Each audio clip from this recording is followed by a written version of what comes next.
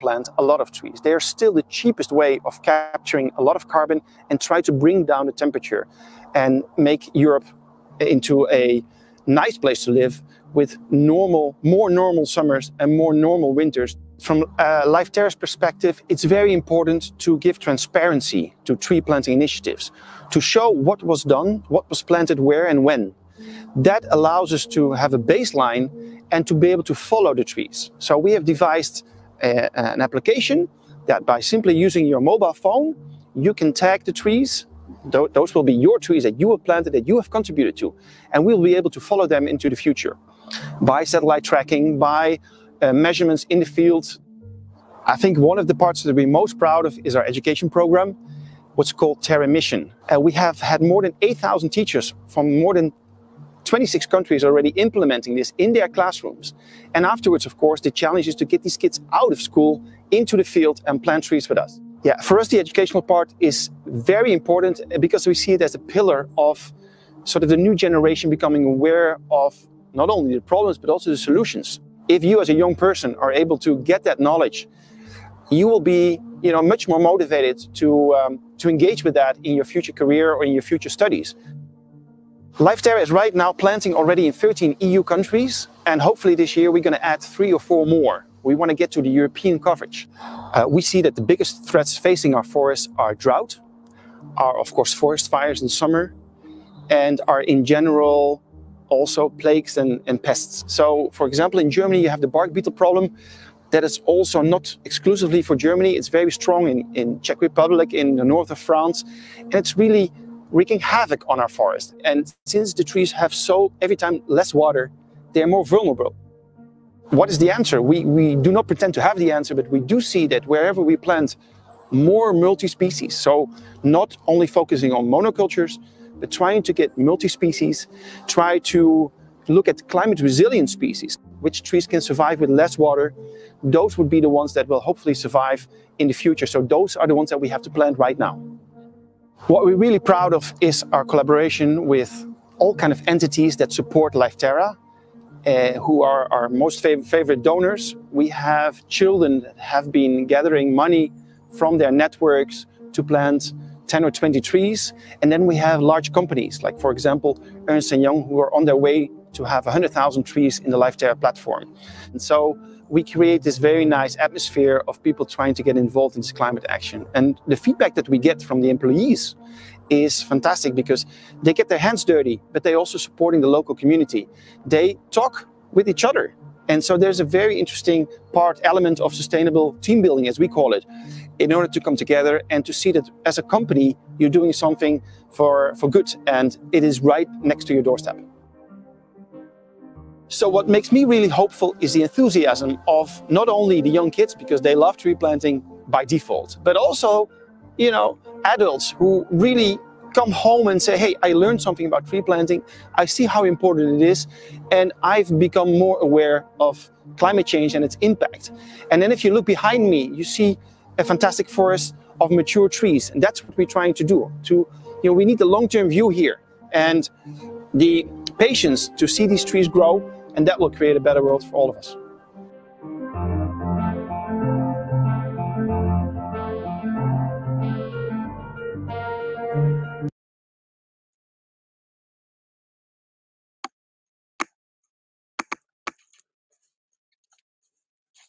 Welkom in deze webinar van Live Terra, zoals jullie al in een introductie gezien hebben, maar ook met andere sprekers die zich zo dadelijk zullen voorstellen.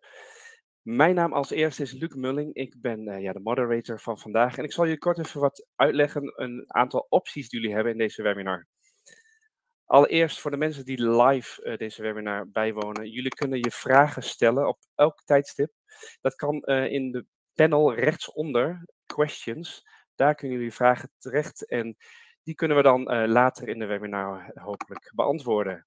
Voor de mensen die de recording bekijken, jullie kunnen nog steeds je vragen kwijt. Dus die kun je ook nog stellen schriftelijk daar in de, in de panel questions.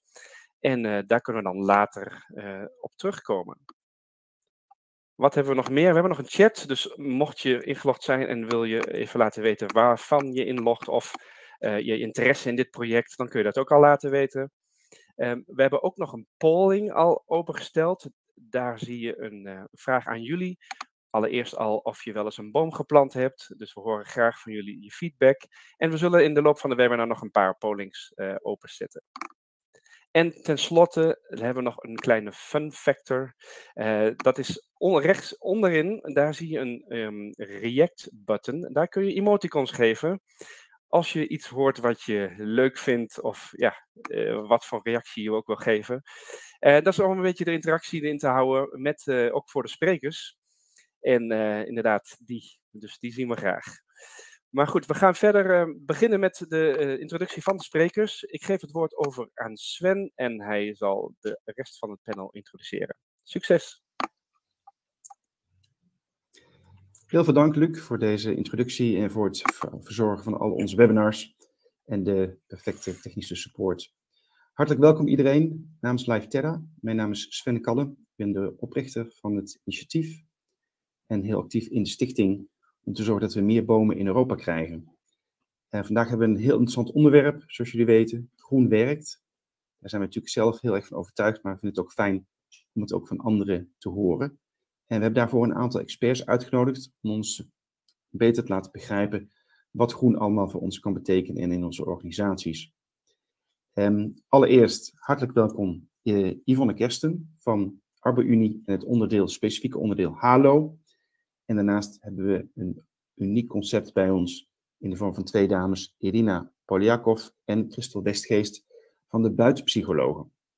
Een heel speciaal concept gericht op het um, uh, terugbrengen van onze connectie met de natuur en daarmee uh, op een andere manier kijken naar psychologie en mensen heel snel verbeteren. Hartelijk welkom allebei, allebei, alle drie moet ik zeggen, twee organisaties, drie personen. Zometeen geven jullie het woord om iets te vertellen over jullie eigen organisatie en jullie initiatieven. En daarna hebben we een aantal vragen voor jullie voorbereid om, om meer te leren over die connectie met de natuur. Uh, heel kort nog even over Live Terra. De video liet het net al zien. We zijn op dit moment actief in 13 Europese landen. En we proberen elke keer meer landen bij te krijgen, omdat we zien dat er over het algemeen in heel Europa heel veel interesse is om te werken aan klimaatactie. We zien dat met name wat ons motiveert, zodra we de mensen in het veld zien, dat we een enorme positieve energie voelen. Mensen zijn blij dat ze de kans krijgen om iets te doen, voelen zich vaak een beetje machteloos als je al die verhalen leest over smeltende gletsjers en, en de Noord- en de Zuidpool. Dus met het planten van een boom is een symbolische actie om voor mensen om bewust te worden van het klimaat en de klimaatproblematiek. En ook het idee dat je er iets echt aan kan doen. En een mooi effect is dat mensen weer meer met elkaar gaan praten, zoals ik in de video al uitlegde. En dat mensen op, um, ja, op een andere manier met elkaar praten. En dan bij een keer bij de koffieautomaat. En zeker na COVID, waar er steeds meer mensen thuis werken, is het heel belangrijk om toch weer te reconnecten. En wat is er dan mooi om dat in de natuur te doen? Nou, in dat kader wil ik allereerst um, het woord geven aan Yvonne van, vanuit uh, de Halen onderdeel, onderdeel van de Arbe-Unie om iets te vertellen over hoe ArboUnie zich concentreert op het welzijn van alle werknemers en ook op de preventie van mogelijke problemen en hoe ze daarbij de natuur inzetten als een belangrijk middel. Yvonne, mag ik jou het woord geven? Ja, dankjewel eh, Sven. Goedemorgen allemaal. Heel fijn uh, om hier te zijn. Um, misschien even heel kort iets over HALO. Inderdaad een onderdeel van uh, grote organisatie ArboUnie. Maar wij richten ons op het versterken van mensen die elke dag eigenlijk aan het werk zijn. Om te zorgen dat je elke dag volop energie hebt, ook aan het einde van de dag.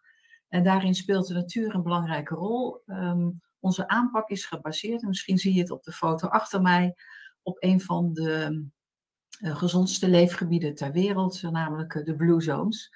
En de afbeelding hier achter mij is toevallig van het mooie Costa Rica. Um, het welzijn van mensen zit in het hart van onze organisatie, zowel van HALO als uiteraard van, van ArboUnie. Ehm, en vanuit die gedachte zorgen wij ook natuurlijk goed voor onze eigen mensen. Uh, met een heel stevig NVO-beleid, waar we ehm, echt een flinke ambitie ook hebben neergelegd, uh, werken we daaraan. En dat doen we niet alleen zeg maar, om te zorgen dat we een, goed klimaat um, uh, krijgen, maar vooral ook behouden voor in de toekomst. En maar ook te zorgen dat je op dit moment zeg maar, in die natuur voldoende nou, laten we zeggen, zuurstof ook uh, brengt. Hè, door het, onder andere het, het, planten van bomen. Dat doen we samen met de Life Terra. Dat zal geen verrassing zijn. Uh, omdat in die natuur zijn gewoon ongelooflijk belangrijk is voor het welbevinden van, van mensen. Geweldig, heel goed. Uh, dankjewel voor deze introductie, Yvonne. En dan geef ik nu graag het woord aan een van de twee buitenpsychologen om jullie ontstaan toe te lichten en jullie uh, belangrijkste focus, alsjeblieft. Christel of, um, of Irina? Ja, uh, iedereen welkom inderdaad. Uh, fijn dat uh, dit soort initiatieven er zijn. Ik ben Christel Westgeest en mijn collega die er vandaag ook bij is, is Irina Poliakov. Wij zijn beide GZ-psychologen en oprichters, co-founders van de buitenpsychologen. Uh, dat is een uh, initiatief wat wij, uh, nou ja, dus inderdaad alweer zes jaar geleden hebben opgericht. En dat is ontstaan vanuit een, in eerste instantie een, een, een persoonlijke behoefte. Um, wij waren nou ja, binnen aan het werk, zoals dat gaat bij, bij psychologen. En wij deden dat alle, allebei al zo'n 15 tot 20 jaar. En op een gegeven moment hoor je jezelf zeggen dat het goed is om meer naar buiten te gaan. Dat het goed is om uh, ja, wat meer te activeren, contact te maken met de natuur. Is goed voor de geestelijke gezondheid, dat weet ook iedereen. Maar zo'n opdracht geef je dus uh, zittend. Dus op een gegeven moment voelde dat voor ons beiden niet meer uh, passend, niet meer kloppend. En um, zijn we tot het idee gekomen, waarom nemen we onze cliënten eigenlijk niet mee naar buiten? Nou, dat hebben we toen um, ja, stap voor stap, letterlijk uh, zijn we dat in gang gaan zetten. En dat werd eigenlijk direct een, een hit, niet alleen onder de uh, cliënten, maar vooral ook um, kwam de vraag van onze collega's, uh, andere psychologen, van ja, dat gevoel wat jullie hebben, dat er meer is dan alleen maar zitten en praten. Kunnen we dat leren? Hoe, hoe doen jullie dat? Nou, daar hebben we een opleiding voor geschreven, een, een driedaagse training het is eigenlijk een soort uit de hand gelopen hobby ondertussen. Want uh, uh, we zijn nu ook gastcolleges aan het geven op de universiteit om te vertellen wat het effect is van groen op de mentale gezondheid. Ehm, we geven workshops, ehm, gastlessen op MBO. ja, onze missie is echt om de GGZ te vergroenen. En dat doen we gelukkig niet alleen hoor, dat doen we met heel veel partijen en steeds meer GGZ-instellingen uh, ja, uh, haken aan. En, en het is op een gegeven moment ook een heel groen initiatief geworden. Dus dat is wat wij doen en dat is waar we voor staan. En dat is wat we nog jarenlang met, met heel veel liefde zullen gaan doen. Ondertussen zijn er nou, 500 psychologen getraind in Nederland. Allemaal buitenpsychologen die zo door heel Nederland te vinden zijn. En uh, ja, dat is een beetje wie de buitenpsychologen uh, zijn en wat we doen. Fantastisch. Dus dat betekent niet alleen voor jullie zelf, maar dat jullie het ook heel erg naar buiten brengen. En daarmee dus echt dat netwerkeffect creëren. Hartstikke mooi. Ja, ja zeker. Ik, um, ik stap over naar wat vragen en begin ik um, weer, toch kom ik weer terug bij jou Yvonne. We hebben gezien, toen we met jullie planten, met jullie uh, werknemers, collega's, het enorme enthousiasme van de mensen zoals we dat eigenlijk op alle evenementen meemaken weer die connectie met de natuur en met elkaar. Maar hoe is eigenlijk um, van waaruit is bij de arbeid jullie dat besef gekomen om te gaan investeren in, in welzijnsprogramma's, zoals dat, terug naar, met z'n allen naar de natuur ingaan, maar ook speciaal dat het initiatief van Halo wat jij, uh, wat jij leidt? Ja. Nou, het is tweeledig, uh, Sven. Het heeft heel erg te maken met het um, uh, bewustzijn van onze positie als organisatie in de maatschappij, uh, waarbij uh, we, een, wat ik al zei, een goed stevig MVO-beleid hebben, wat over mensen gaat, over wat over onze omgeving gaat, de samenleving en, en natuurlijk ook over het klimaat. Um, wij hebben een mooie certificering in de MVO prestatieladder van een score 4, een schaal van 5 punten weten te behalen. En dat geeft aan, ik noem dat om aan te geven dat we heel serieus mee bezig zijn. En dat lukt alleen maar als je dat eigenlijk met alle mensen uit je organisatie vormgeeft. Dus uh, niet alleen uh, wij als, um, als, als, directeur van label of, of directie vinden dat, maar alle mensen binnen onze organisatie doorleven gewoon dat hele MVO-beleid. En dat maakt dat we daar ook zelf heel actief invulling aan willen geven. Um, ook misschien een beetje uh, à la de buitenpsychologen, ook door met onze cliënten uh, die vanuit de Arbo-Unie begeleid worden, inderdaad vaker naar buiten te gaan. Niet in een ruimte te blijven zitten, maar juist de beweging op te zoeken buiten, om van daaruit veel meer inspiratie en energie te krijgen. Um, tegelijkertijd doen we dat ook voor onze eigen medewerkers. Voor iedere nieuwe medewerker die bij ons komt werken, planten we een boom. Um, en ook daar weer de gedachte eigenlijk tweeledig, weet je, buiten zijn uh, en alles wat energie of wat de natuur je geeft, weet je, dat, dat gunnen we iedereen. Maar ook wel om te zorgen dat een MVO-beleid niet alleen maar is gericht op, op CO2-reductie, maar ook zorgen dat je door bomen planten uh, ja, voldoende nieuwe zuurstof eigenlijk ook op de, deze aarde weer, uh, weer achterlaat. Dus dat is even in een nutshell wat, wat voor ons ja. zo belangrijk maakt schitterende win-win-win eigenlijk. Dus dat is, uh, is, heel mooi. We hebben Irina nog niet aan het woord uh, gehad, dus ik wil eigenlijk jou de vraag stellen, Irina. Um, het is natuurlijk één ding om mensen te zeggen, goh, we gaan naar buiten en we houden ons praatje daar. Maar er zit natuurlijk veel meer achter, dus jullie hebben daar een unieke aanpak van, van therapiesessies voor ontwikkeld eigenlijk. Um, hoe heb je die unieke aanpak eigenlijk echt ontwikkeld en doorontwikkeld om hem effectief te maken? Dankjewel, Luc. Uh, ja, ik ben dus Irina Poliakov, waar Christel het uh, net over had. En uh, uh, ja, om gelijk op je vraag in te gaan. Wij maken binnen natuurlijk gebruik van evidence-based technieken. en dat is continu in beweging ook natuurlijk, het behandeltherapieland, behandelvlak. En wij hebben de evidence-based technieken die we binnen heel graag toepasten, hebben we mee naar buiten genomen. Uh, en uh, ook buiten ontstaan er weer nieuwe vormen van werken, meer creatieve vormen, meer uh, ja, in het moment in een hele dynamische omgeving, wat de natuur natuurlijk aanbiedt, vergeleken met een ruimte binnen. Oké, dan switch ik gelijk naar je collega Christel, want um, ja, je kan natuurlijk op heel veel manieren dit inzetten, maar uiteindelijk, waarom kiezen jullie specifiek voor deze aanpak? Wat heb je gezien dat, dat met dat dat stukje connectie met die natuur, wat het dan zo uniek maakt, waardoor mensen op een andere manier misschien openstaan voor um, het belichten van hun problematieken? Of wat, wat zie je dan als, zeg maar, daar de, de ja, waarom kies je specifiek voor deze aanpak? Ja, wij kiezen um, specifiek voor deze aanpak. Uh, het is natuurlijk altijd een keuze. Hè? Uh, mensen hoeven niet uh, met ons naar buiten, het mag.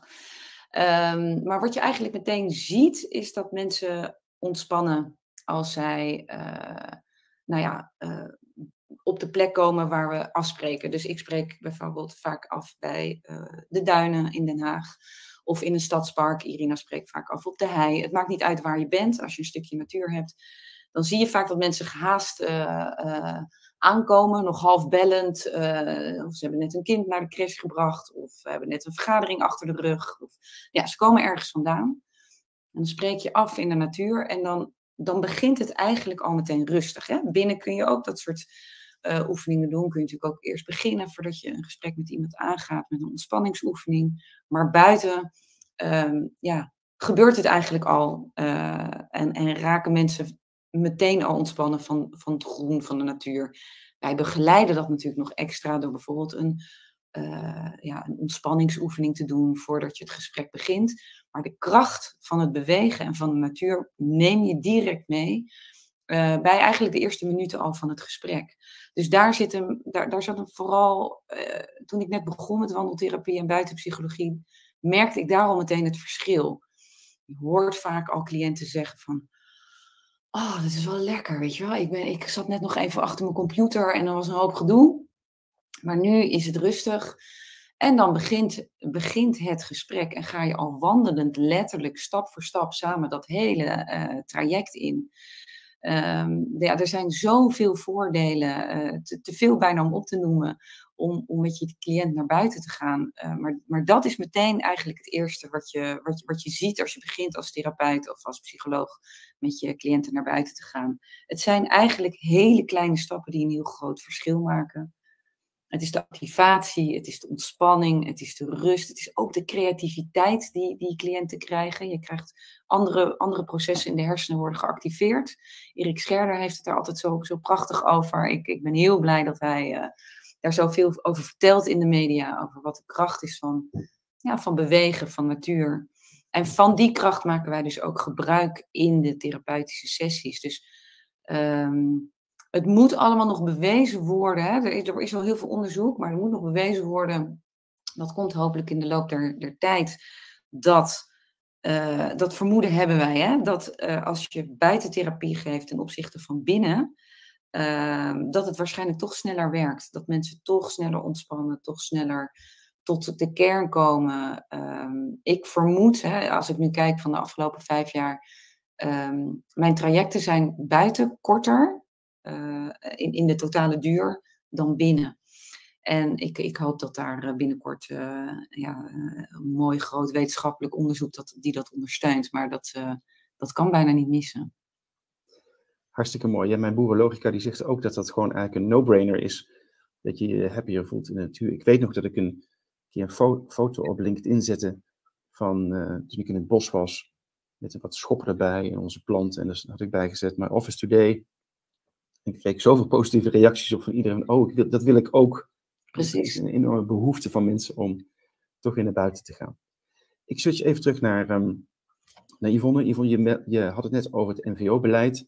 Natuurlijk is het NVO is veel breder dan alleen de natuur. Het gaat ook over uh, processen, over uh, allerlei typen verantwoordelijkheden op allerlei vlakken. Hoe pas je daar specifiek een stukje natuur in?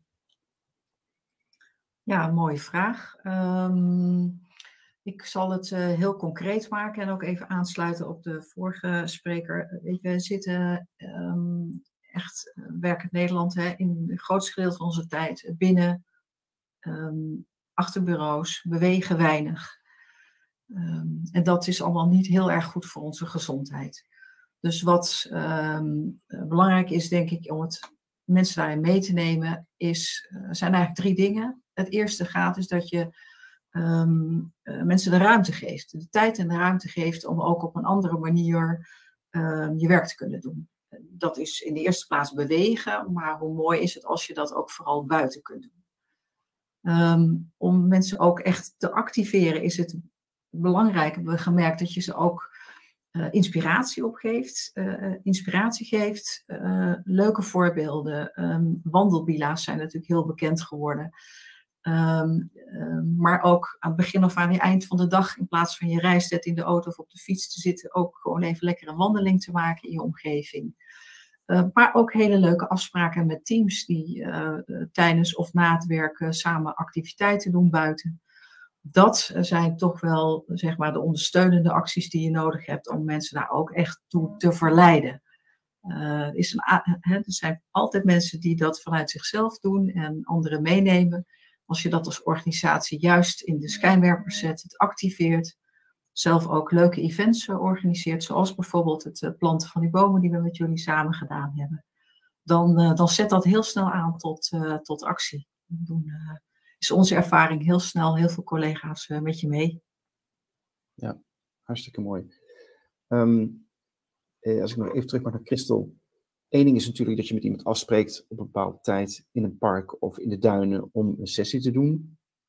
Hoe kun je ervoor zorgen dat zoiets structureel wordt ingebed in de agenda van die persoon? Dus de vraag is eigenlijk, schrijven jullie aan je patiënten ook voor dat ze zelf na of, of gedurende het traject eh, doorgaan met het opzoeken van de natuur om het soort onderdeel te maken van hun leven?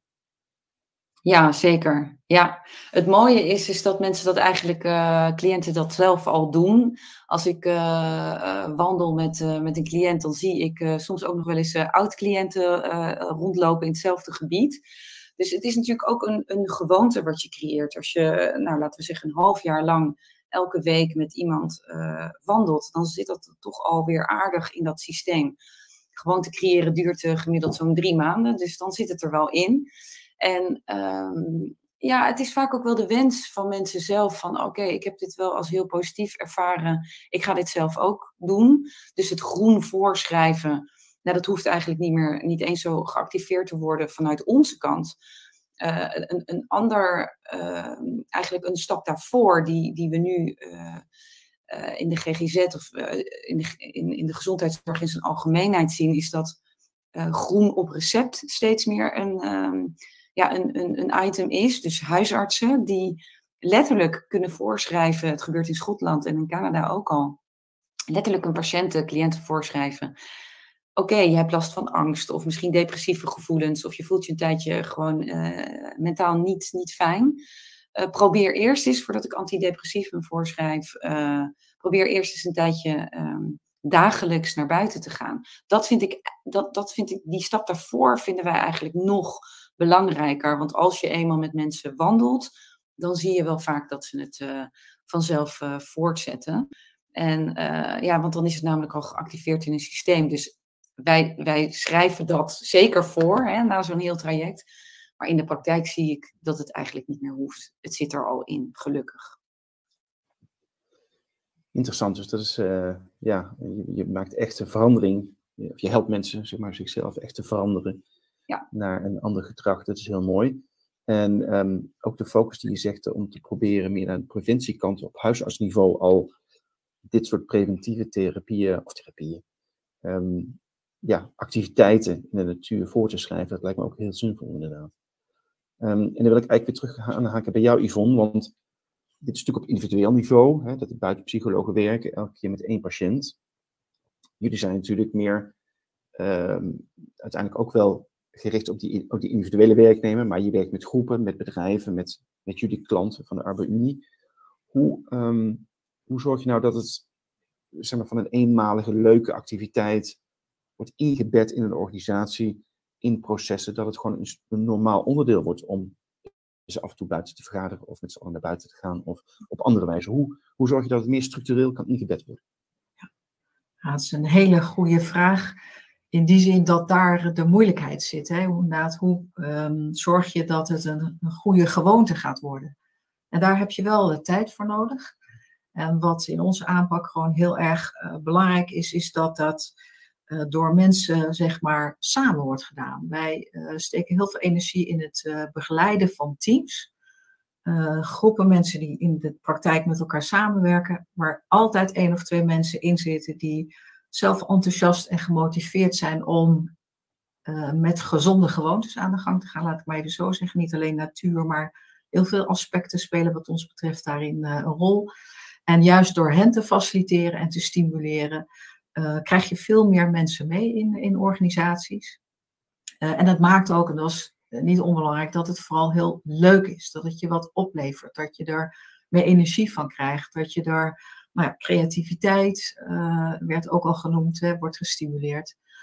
En doordat, door, wij helpen organisaties op weg om dat met teams goed, um, zeg maar, uh, op gang te brengen, uh, goede initiatieven neer te zetten. Maar met als doel dat dat eigenlijk geïncorporeerd wordt in je bedrijfscultuur.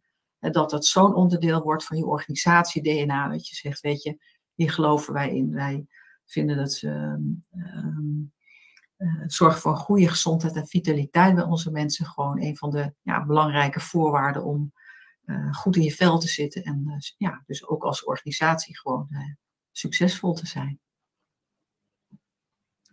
Hartstikke mooi.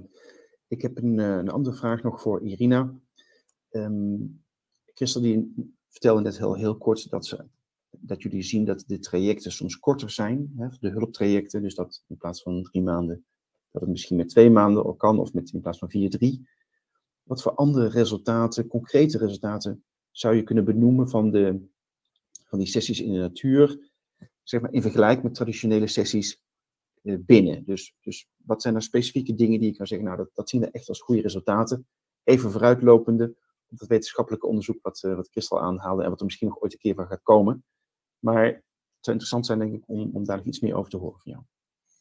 Ja, uh, om nog even aan te sluiten, als je het goed vindt, Sven, op wat Yvonne net vertelde. Dus wij zien inderdaad één op één mensen. Wij bereiken individuen, uh, maar ook steeds meer groepen. En dat is, daar zit denk ik ook de kracht in.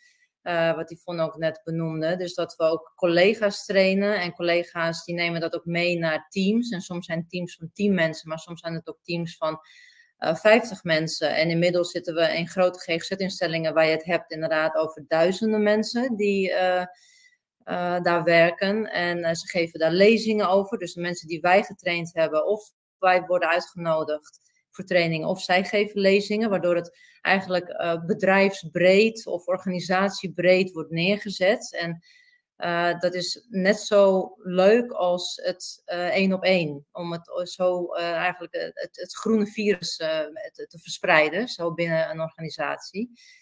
Um, en ook MT-teams bijvoorbeeld uh, worden we regelmatig, steeds vaker moet ik zeggen, voor uitgenodigd om daar dan dus uh, uh, mensen niet alleen maar te inspireren, maar mensen willen ook weten, maar hoe doe ik dat dan? Dat is vooral heel belangrijk, want dan blijft het ook veel makkelijker hangen. Bij, en dan kunnen mensen het ook veel makkelijker, ligt het ook beter voor de hand. En vaak bespreken we ook met ze van, je zou een ambassadeur bijvoorbeeld kunnen benoemen. Uh, van, ben jij degene die dan de wandel, het wandelvergaderen uh, um, vertegenwoordigt binnen een bedrijf? Dus dat nog even aansluiten op wat Yvonne zei.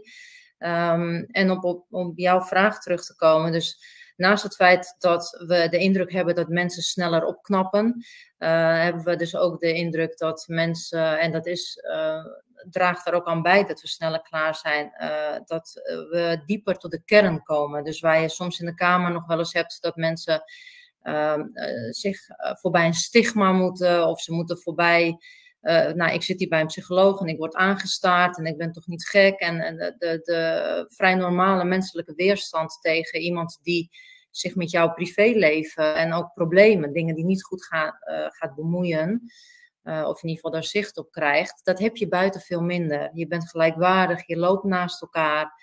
Um, je therapeut wordt daarmee ook veel benaderbaarder, veel menselijker. Mensen hoeven je ook niet de hele tijd aan te kijken, maar kunnen ook gewoon voor zich uitkijken en, en praten, nadenken, uh, huilen als dat zo is. Of, waardoor um, we veel sneller tot de kern komen van waar ze voor komen. En uh, mensen gaan ook veel sneller uh, ook over tot oplossingsgericht denken in plaats van pro probleemdenken. Dus waar je binnenkomt van ik heb deze klachten, dit zijn mijn problemen, dit lukt me niet.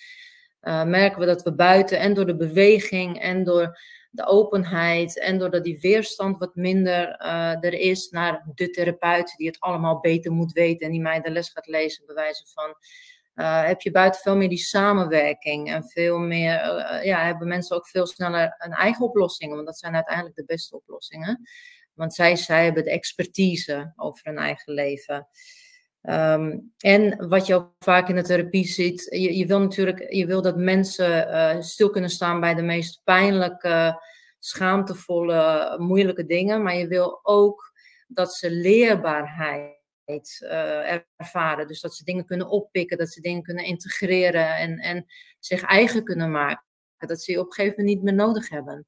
Uh, en dat gebeurt buiten veel sneller in mijn ervaring, onze ervaring. Dat ook een beetje dat, dat, dat speelse in mensen naar buiten komt. Dat nieuwsgierige, dat verwonderen, wat, wat we als kind heel erg hebben. Waardoor we als kind ook heel snel dingen kunnen leren. En als volwassenen soms een beetje een beetje verliezen. Doordat we uh, alles gaan overdenken. En buiten zie je dat speelse, dat open, het nieuwsgierige um, veel meer uh, naar voren komen. En uh, last but not least de stilte. Dus waarin een kamerstilte heel ongemakkelijk kan zijn. Maar stilte is ook zo belangrijk, überhaupt, in ons leven, denk ik.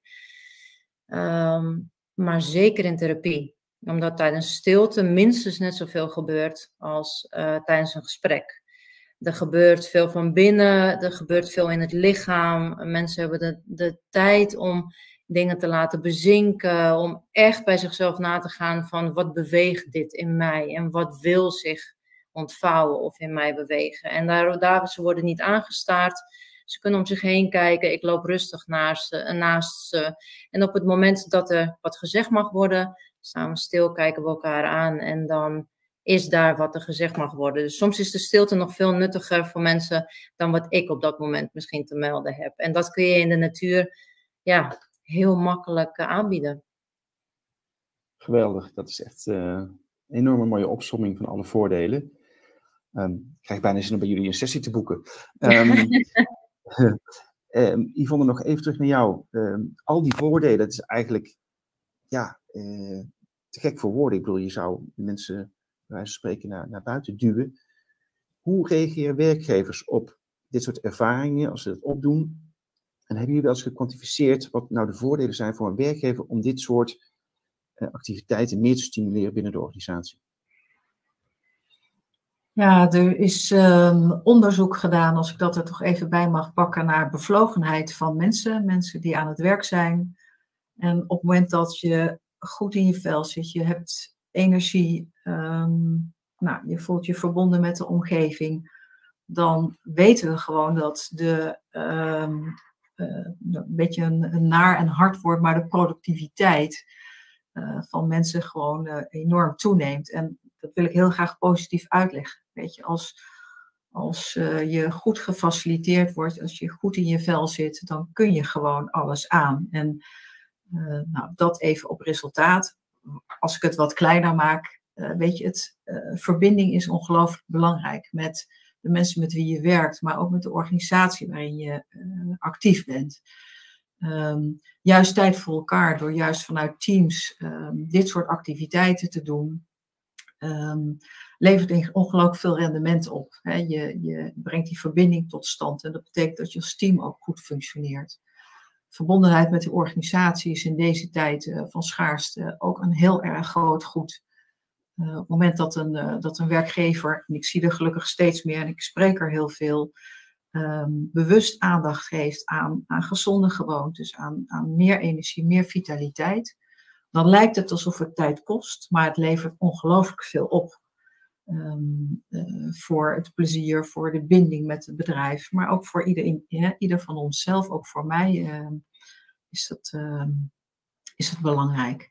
Dus ik merk in toenemende mate dat ehm, werkgevers die mensen hoog in het vaandel hebben staan, heel erg enthousiast reageren op de aanpak die wij als een van de partijen in de markt op dit moment ook echt onder de aandacht brengen. Het is echt een, uh, het lijkt wel bijna een, een, tegenbeweging die we op gang aan het brengen zijn. Het, het alsmaar continu doorgaan en doorgaan en altijd maar aanstaan, weet je, daar, daar mag een keer ook een, uh, een halt aan worden geroepen. Ehm, aandacht voor de dingen die ehm, je energie bevorderen zijn ongelooflijk belangrijk. Even de pauzebutton aanzetten en tijd voor reflectie. En waar mooi dan in de natuur. Um, ja, ik denk dat, het hele goede, dat je hele goede argumenten geeft. En um, toch nog even bij jou terug, Christel, want jullie zien natuurlijk van heel dichtbij, echt op individueel niveau, niet alleen pardon, op individueel niveau, maar ook op kleine groepen en zelfs grotere groepen niveau. Um, afgezien van de voordelen voor de werknemer zelf, voor de, de persoon zelf moet ik zeggen, hè, in dit geval als ze werknemer zijn bij, bij een bedrijf of organisatie. Wat is nou de reden waarom bedrijven echt werknemers moeten stimuleren of, of ze zelfs moeten faciliteren om dit soort sessies of dit soort reconnecting met, met de natuur te doen. En um, dus even vanuit de, de, werkgever gedacht, wat, wat, is, wat zien jullie als reacties daarvoor in, uh, van jullie klanten, als ik het zo mag noemen? Ja, dus inderdaad, los van het feit dat het, dat, dat het heel fijn is voor de, voor de werknemer om uh, beter in je vel te zitten. Um, kan ik me voorstellen vanuit de werkgever, eigenlijk ook wat Yvonne uh, net, net aangaf. Um, het, het, ja, het klinkt uh, gek, maar het, het, levert de werkgever natuurlijk ook enorm veel op, logischerwijs. Want als je allerlei gezonde, fitte, vitale, um, blije mensen in je organisatie hebt werken, ja, dat betaalt zich natuurlijk terug. Een van de, van de grote dingen die op dit moment spelen, zeker uh, tijdens, maar ook na COVID, uh, zien we dat de eenzaamheid enorm is toegenomen bij, bij mensen. Hè. De, mensen hebben veel achter in hun eentje achter de computer gezeten, achter een laptop gezeten, alleen thuis gezeten. Ehm, en die connectie met elkaar, dus met collega's, is, is ongelooflijk belangrijk. Waarom? Omdat ja, de kern van, van ehm, waar, ja, waar, waar worden mensen gelukkig van, is vaak de verbinding met de ander. En die raak je vaak kwijt, ook met collega's. Dus als je samen naar buiten gaat, als groep collega's, wij geven, wat Irina net ook aangaf, ook uh, sessies wandel, uh, uh, vergader, wandelvergaderen. meetings noemen ze dat ook wel eens. Ehm, dus met je, met je team of een bila naar buiten gaan. Zorg ervoor dat je het contact met elkaar, ja, dat het contact toeneemt. Dat je meer verbonden voelt met je collega. Dus ook met het, met het bedrijf, met cultuur wordt anders. Um, het wordt opener. Dus als werkgever, ja, ik zou het wel weten als ik een, eh, een groot uh, team had. Um, ik doe het zelf op microniveau als ik uh, um, dingen met, met degene die onze administratie verzorgt. als ik daarmee moet vergaderen, de, de, administratie is sowieso niet mijn, mijn favoriete onderwerp, maar ja, één keer in dezelfde tijd hebben we toch een vergadering. Dan doe ik dat altijd wandelend. En dan zeg ik, hé hey Hanno, kom op, we gaan, uh, we gaan naar buiten, we nemen koffie mee en dan bespreken we gewoon in twee uur alles. En dan ken ik hem, hè, dus dan nemen we niet alleen maar um, belangrijke dingen voor het bedrijf door, maar ik leer hem ook op een andere manier kennen, omdat je ook even ja, kijkt van, hé, hey, moet je kijken, wauw, het wordt lente of het ontspant meer, je krijgt toch een dieper contact.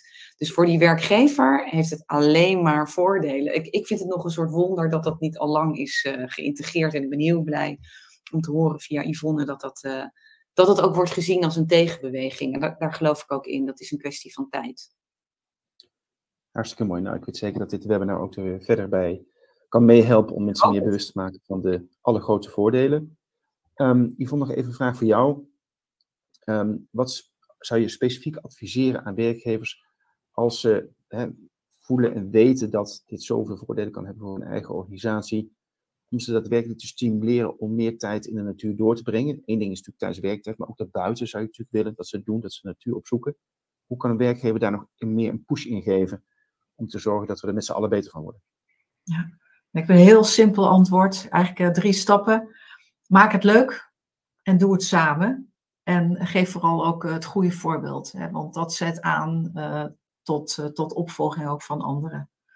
Dus het zijn drie hele kleine stappen die volgens mij iedereen uh, zo kan toepassen in zijn, in zijn werkomgeving. En het levert je heel veel op, zoals gezegd. Hartstikke mooi. Nou, dat is lekker concreet. Um, de gedachte bekruipt mij zo als ik dit zo hoor, dat, um, dat is eigenlijk een vraag voor Christel of, of ook Irina, dat als jullie met die mensen uh, naar buiten gaan, dan loop je dus zelf ook. Je ontspant waarschijnlijk zelf ook in zo'n gesprek of in zo'n wandeling. Kan je stellen dat jullie zelf ook betere therapeuten zijn geworden um, gedurende dat traject van buiten zijn? Misschien een beetje een algemene vraag, maar ik ben ook wel gewoon nieuwsgierig daarna. Want het lijkt mij toch dat je er zelf ook wel misschien op een andere manier gaat kijken naar je eigen werk. Kun je daar iets over zeggen? Ja, ik denk dat ik dat wel namens ons mag zeggen, toch, Chris? Dat uh, we absoluut, dat zeggen wij ook tijdens elke training of uh, um, workshop die we geven. Wij zijn zelf absoluut betere therapeuten geworden. Dat is ons gevoel ook. En um, uh, we zijn creatiever geworden. We, zijn, we gaan bijna altijd uh, met zin naar ons werk. En ik zeg bijna omdat er altijd dagen zijn dat je denkt het regent. Ik heb even geen zin om naar buiten te gaan. En als je dan vijf minuten buiten bent, denk je wat ben ik blij dat ik het gedaan heb en dat dit mijn werk inderdaad is. Um, we zijn uh, ontspannender. Um, en wat je, wat, waar je heel vaak ook in, in therapie naar zoekt, naar de gelijkwaardigheid met een cliënt en naar de, naar de wijsheid die iemand natuurlijk met zich meebrengt over zijn of haar eigen leven. En daar probeer je binnen ook altijd op aan te sturen, dat het een samenwerking is en dat je zelf uh, wat meer een begeleidende rol hebt in plaats van een, uh, een leidende rol. En buiten uh, geeft dat ons meer lucht om op die manier gewoon mee te kijken en, en uh, de, de, waardevolle dingen toe te voegen die eventueel nodig zijn. Maar ook de cliënt geeft het gewoon veel meer vrijheid en autonomie om dat te pakken. En dat geeft, uh, die samenwerking maakt je ook tot een betere therapeut. Namelijk minder overwerkt, fitter, we hebben energie als we weer thuiskomen. Dus je hebt ook je sociale leven, profiteert daar ook van, je privéleven. En dat straalt natuurlijk ook af dan weer op je werk de volgende dag. Dus uh, ja, het, uh, het heeft ons absoluut uh, betere therapeuten en ook, nou, durf ik te zeggen, wel betere mensen gemaakt. Geweldig, hartstikke mooi. Fijn te horen. Ik wou ook nog even wat aandacht aan vragen die ondertussen via de chat zijn binnengekomen. En alle mensen die meeluisteren, um, stel je vragen via het kanaal questions. En dat kan ook nog achteraf. Dus wij krijgen daarna een kopie van die vragen en zullen dat dan proberen te beantwoorden. De eerste vraag is van Roos. Als je bedrijf in de stad is gevestigd, hoe kun je dan tijdens je werk toch de natuur in? Zijn er nog suggesties voor? Ik weet niet of iemand zich geroepen voelt om die vraag te beantwoorden. Ja, ik kan daar op zich wel uh, een suggestie voor geven. Ik, ik, hoor dat vaker. Niet alleen um, uh, van cliënten van oké, okay, ik, ik, ik, ik, woon zelf in de stad. Hè, mijn, mijn praktijk is in de stad, in Den Haag. En mijn tip zou zijn, is um, ga eens op Google Maps kijken. Um, en zoom even een klein beetje uit en vind de groene spots in jouw uh, stad of in jouw dorp. vaak is het natuurlijk in de provincie wat groener. Maar waar ik zelf achter ben gekomen is dat Den Haag groener is dan ik dacht. En er ook hele kleine stadsparkjes zijn waar jij het bestaan nog niet van wist. Dus het is, het is ook heel leuk om dat met collega's te doen. Wat ik net ook al voorbij hoorde komen. Van, uh, zorg ervoor dat, dat, dat jij dan degene bent. Hè? Dus de, de, groene speel van je team of de groene speel van het bedrijf. En verzamel al die ja, groene plekjes in de buurt die je kan gebruiken om, om uh, nou, even frisse neus te halen of in je, in je lunchpauze te wandelen. Um, het mag natuurlijk ook gewoon ja, een rondje door de stad zijn. Maar het is wel fijn als er iets van groen bij is. Uh, en meestal is dat, uh, is dat niet zo ver. Het, het, het, is vaak maximaal 10 minuten lopen. Dus dan heb je 10 minuten heen, 10 minuten terug, een half uurtje in het groen, of 10 minuutjes in het groen. En dan ben je toch een half uur uh, buiten geweest. Dus het is ook een soort um, ontdekkingstocht om dat met je collega's te doen. Van hé, hey, wat, wat zit hier eigenlijk allemaal? ja, op een andere manier naar je stad kijken. En echt de groene juweeltjes opzoeken. En, ja, die zijn er. En, en die ontdekken. Hartstikke ja. mooi. Ja. We hebben een andere vraag. Uh, misschien voor um, Yvonne. hebben jullie tips voor activiteiten in de buitenlucht met collega's? Nou ja, wij als Live Terra zeggen natuurlijk, kom met ons een boom planten. Of twee, of drie, of tien. Hè, wat voor een betere activiteit in de natuur kan je, kan je doen. Maar er zijn natuurlijk nog allerlei andere activiteiten. Heb je nog, misschien daar nog een, wat ideeën over? De, de meest eenvoudige is wandelen. Daar heb je heel erg weinig voor nodig. En uh, je vindt inderdaad een plekje in de buurt en daar kun je naartoe. Maar het is ook heel erg leuk om met elkaar te gaan uh, mountainbiken, uh, bij wijze van spreken. Of de fiets te pakken. Of um, um, ja, er zijn tegenwoordig zo ongelooflijk veel mogelijkheden. Um, wat kan ik nog meer verzinnen? Nou, wij zijn gaan, gaan roeien met het, met het team ook uh, bijvoorbeeld. Weet je, dus uh, net nou ja, wat past bij de groep mensen die je hebt, de leeftijd uh, en de belangstelling. Daar is altijd wat, wat bij te vinden. En het hoeft helemaal niet zo ingewikkeld te zijn. Juist, we hebben van de zomer toevallig met het team gewoon bramen geplukt ergens in een, in een bosje in de buurt. Weet je, dat heeft ons zo ongelooflijk veel plezier opgeleverd. Ja. Dus keep it simple. Hartstikke mooi. Uh, een andere vraag van Shirley. Wat doet het mee naar buiten nemen van teams extra ten opzichte van samenkomen in de vergaderruimte? Er al een beetje over gesproken, maar ja, als je natuurlijk grotere teams hebt, wordt het misschien lastig om met z'n allen buiten effectief iets te bespreken. Dus ik ben benieuwd naar jullie inzichten. Uh, misschien een vraag voor Christel of Irina. Ja, ik was uh, aan, een beetje aan het typen uh, bij de questions. Um, maar het is, het is, onderzoek heeft uitgewezen dat het samen, uh, buiten samenkomen en buiten vergaderen of uh, lesvolgen of buiten activiteiten samen doen, dat het bij mensen de onderlinge verschillen wat meer wegvallen. Dus dan kun je bijvoorbeeld denken aan afkomst of sociaal-economische status of uh, dat blijkt uit onderzoek dat, dat buiten veel minder um, evident is. Dus dan voelen mensen zich veel sneller veilig, hebben veel meer een saamhorigheidsgevoel en ja, dat is wel wat je graag wil natuurlijk als je, als je een team hebt. Dus het kan bijvoorbeeld ook heel goed werken bij uh, reorganisaties. Of het kan ook heel erg goed werken waar nog een band gesmeed mag worden. Of waar nog afscheid genomen mag worden van, van mensen. Of nieuwe mensen verwelkomd. Waar twee teams of meerdere bij elkaar, uh, aan elkaar verbonden mogen worden. Uh, maar bijvoorbeeld ook om te brainstormen. Uh, het helpt om buiten te zijn en, en, en te bewegen. Dat, dat helpt het creatieve brein veel om, om actief te zijn. En dat is wat je nodig hebt bij brainstormen. Het verhoogt de leerbaarheid, wat ik net ook al zei. Dus het blijft ook veel sneller hangen. Mensen komen met veel creatievere ideeën die dan veel meer eigen zijn. En het kan ook helpen bij die vervelende agendapunten die elke week of elke maand weer terugkomen. Als je op dingen vastloopt. Ehm, dus ja, er zijn vele, vele voordelen te benoemen. Geweldig, hartstikke mooi. Dan nog een nieuwe vraag van Roos voor Yvonne. Uh, we lopen bijna al uit de tijd, dus we moeten het eventjes eh, niet te lang houden, denk ik. En de vraag is als volgt. We hebben het veel gesproken over collega's en, en patiënten natuurlijk ook. Um, maar er vinden ook heel veel afspraken plaats met klanten en werkrelaties binnen en online. Ga je wel eens met klanten ook naar buiten en hoe ervaren zij dat? Het is een heel speciale situatie wellicht. Ja, zeker. Nou, ik denk dat je geen verschil hoeft te maken tussen een, een dagelijkse relatie met collega's of een relatie inderdaad meer op het zakelijke vlak.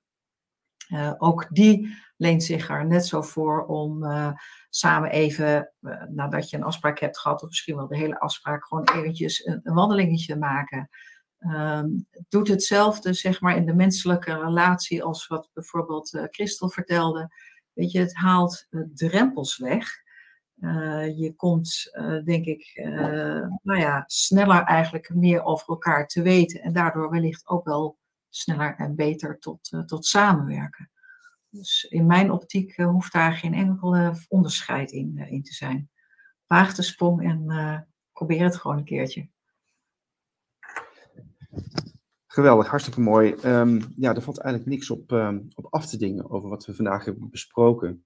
Het is alleen maar een kwestie van hoe krijgen we meer mensen actief in die tegenbeweging, zoals het genoemd werd. Ik, um, wat ik geleerd heb vandaag is groen op recept. Schitterend concept. Uh, die weerbaarheid, daar houden wij heel erg van, want we proberen ook de natuur zelf weerbaarder te maken. Door bijvoorbeeld verschillende soorten bomen en struiken te planten, om te zorgen dat we weggaan van monoculturen. Ik denk dat het eigenlijk wel een mooie analogie is naar de maatschappij en naar een persoon persoonlijk ook. Dat je zelf door actiever te zijn, meer zuurstof in te ademen, dat je ook um, een beter persoon wordt, gezonder, en, eh, zowel in lichaam als in geest. We hebben nog een paar minuutjes over. En dan wil ik eigenlijk onze gewaardeerde uh, sprekers vragen of nog een bepaalde laatste gedachte hebben of uh, inzichten die u vandaag hebben opgedaan, of die nog wil delen met de, onze audiëntie. Dus um, misschien kan ik beginnen met, uh, met Irena. Irina, pardon. Ja, wat, uh, wat ik ook, uh, wat cliënten ook vaak teruggeven. En um, we zijn ons allemaal, uh, denk ik, ervan bewust dat, um, dat de natuur ons nodig heeft en wij de natuur nodig hebben in de komende tijd. Dus dat, dat, we, dat we daarin mogen gaan investeren. En wat mensen teruggeven is dat doordat ze zoveel troost hebben gevonden of ontspanning of inzichten in de natuur en dat ze uh, daardoor ook veel meer betrokken zijn bij de natuur. Dus eigenlijk precies wat, weet jij Sven in het begin eigenlijk al zei, wat je hoopt, dat gebeurt dus ook. Dus mensen knappen op in therapie, uh, maar ze krijgen daarmee ook weer een, een connectie met de natuur. En dat, de, dat zei laatst iemand heel mooi, van het is niet alleen maar bij de natuur om me heen, maar ook mijn eigen natuur. Want ik ben zelf eigenlijk natuur.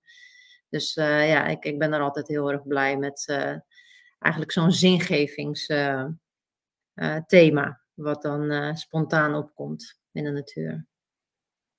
Ja, fantastisch. Ik denk als iemand die je dan begeleidt zo kan reageren, dan krijg je echt eer van je werk, maar ook, laten we zeggen, een enorme effectiviteit die je dan ziet doorstralen. Dat is fantastisch. Christel, misschien van jou, jou nog wat laatste gedachten die je zou willen delen met, met ons. Nou, ik denk aansluitend aan, aan uh, wat uh, mijn collega zegt. Wat, ik zou het eigenlijk heel simpel willen houden vandaag voor de mensen die, die, die het webinar zien en, en beluisteren. Is probeer in ieder geval vandaag nog een 20 minuten of een half uur is te gaan wandelen en dan het bezoek aan de natuur, dus waar je ook naartoe gaat, naar een stadspark of een wat groter natuurgebied of gewoon iets, iets kleins, je gaat aan de wandel en dan met een andere oog te gaan, met andere ogen te gaan kijken. Dus je bent niet op bezoek bij de natuur, maar te proberen te snappen van, hé, hey, wacht eens even, ik ben de natuur. Weet je, ik hoef niet op zoek te gaan, uh, op bezoek te gaan, maar ik ben daar een onderdeel van. En op het moment dat je dat heel bewust inzet en als mensen dat gaan voelen, dan is het een motivator om vaker te gaan. En dan is het geen opdracht meer, maar dan willen mensen gewoon graag naar buiten. En ja, dat zou ik wel graag uh, willen meegeven. probeer het vandaag en, en kijk even of je dat uh, concept snapt, dat jij, uh, dat jij er onderdeel van bent. Hartstikke mooi. Hoe zetten we mensen aan om die switch te maken mentaal, om het daadwerkelijk in de praktijk te brengen? Hartstikke goed. Yvonne, voor jou ook de kans om nog even wat laatste gedachten te delen met ons. Ga gang. Nou, in aanvulling op wat uh, twee sprekers al eerder zeiden, maak ik het graag heel erg tastbaar. Ik, ga even mijn herinnering terug naar begin, september, uh, begin december. Het was koud, maar er stonden we bijna 100 collega's in een bos hier vlakbij om uh, bijna 800 jonge bomen te planten. Ik moet zeggen, het feit dat je op deze manier zo concreet bezig bent om ehm, met professionele uitleg en begeleiding ook echt zeg maar de zuurstof weer uh, terug uh, te brengen. Nou, dat is zo ongelooflijk inspirerend geweest. Uh, nou, dat, dat gun ik iedereen. Laat ik dat achterlaten, dit webinar. Hartstikke mooi. Ja, we hopen natuurlijk iedereen um, buiten te zien met of zonder bomen, liefst met bomen. Je zijn allemaal van harte welkom om bij Live Terra aan te sluiten. En dat we samen Nederland en de rest van Europa een stukje groener kunnen maken. Om meer natuur te kunnen creëren, waarin we dan ook weer meer tijd in kunnen doorbrengen. En dichter bij de steden. Ik denk dat het wel een hele mooie afsluiting is. Hartelijk dank uh, Irina en Christel van de buitenpsychologen. Hartelijk dank Yvonne van Halo en Arbeunie. En ook heel veel dank aan Luc van de techniek en voor het hosten van dit webinar. Ontzettend bedankt voor jullie mooie, mooie woorden, voor jullie inspiratie. En ik zou zeggen, mensen, ga naar buiten. Wij, uh, wij gaan het zelf ook doen. Tot snel.